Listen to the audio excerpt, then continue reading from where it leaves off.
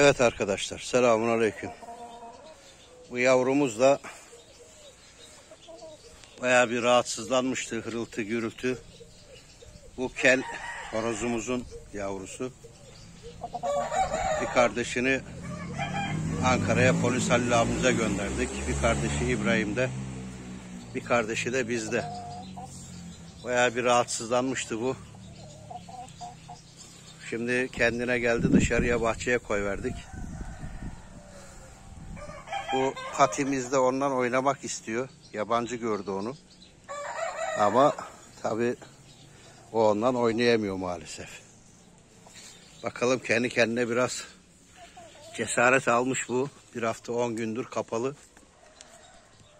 Kartorozumuzu görünce hemen yamuldu. Kardeşlerinin yanına içeriye geçmek istiyor ama bak yabancı 10 gün ayrı kalınca arkadaşlar içerideki de ona hemen erkekleşiyor.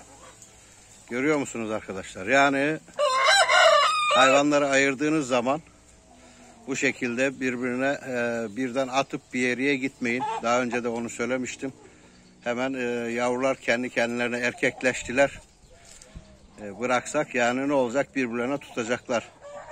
Ama horoz şeklini aldıkları zaman bayağı güzel gözüküyorlar yavrular maşallah.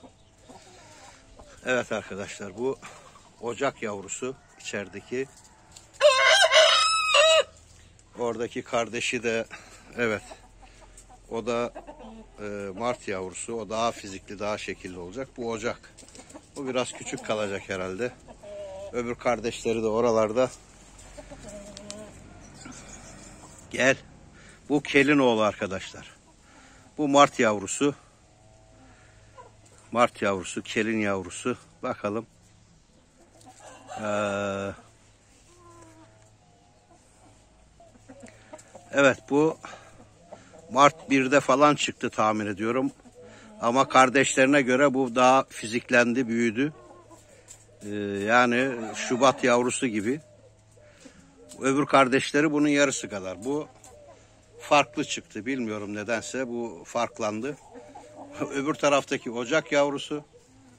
Ocak 2 yavrusu. Yani e, Ocak 2 yavrusunun neredeyse boyları aynı ama o çocuk tabii o ötmeye başladı. Piliç de ona şey yapıyor. Evet burada da damızlığa attığımız hayvanlarımız.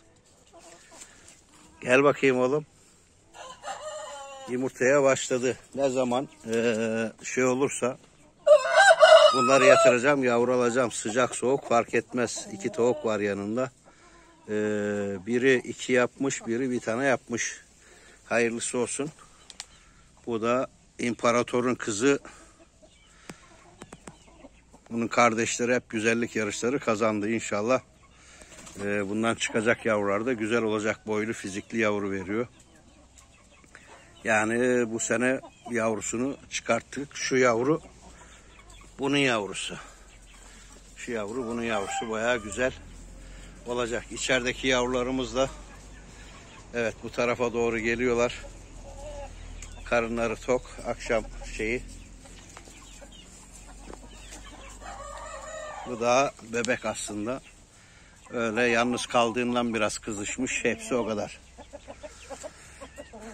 Biraz sonra da gideceğim. Bu hafta İmparator horozumuz güzellik yarışına girecek. Yavrusu üçüncü yarışına girecek. Ee, bunlar da burada. Tabi ona tutmaz. Daha halen hırıltısı var sanki. Gok gok yapıyor ama hırıltısı geçmiş. Dörtlü karışım arkadaşlar. Lavadox, sülfakor, ee, iki tane daha değişik ve artı şimdi isimleri aklıma gelmiyor. Artı vitamin vitaminler e, vereceksiniz. Muhabbet kuşlarının e, vitaminlerinden de kullanıyorum arkadaşlar ben bunlara. Ve artı şunu da söyleyeyim. Artı şunu da söyleyeyim.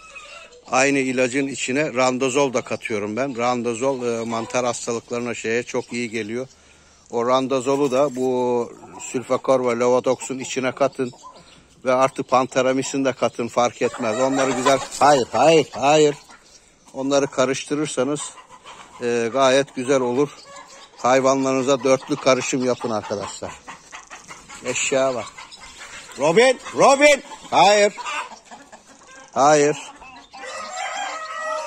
Evet arkadaşlar. Dediğim gibi dörtlü karışım yaparsanız hayvanlarınız hırıltıyı, gürültüyü Burada da bir yavrumuz böyle erkekleşti. Bu da ocak yavrusu arkadaşlar. Bu da ocak yavrusu. Bunlar büyümeyecek. iki buçuk kilo falan anca olacaklar. Bu erkekleşti ve ötmeye başladı. Bu da mesela e, Şubat yavrusu. Dev gibi kalıplı ama e, daha maalesef ötmüyor. Bunlar onların kardeşi. Bu imparatorun öz oğlu. E, bunlar da Şelin yavruları. Evet arkadaşlar. Öyle kısa bir video yaptım. Bahçemiz ve güllerimiz. Bayram bitti, bayram tatili bitti. Herkese hayırlı işler, bol kazançlar dilerim. Allah sağlık, sıhhat versin. Görüşmek ümidiyle, hoşça kalın inşallah.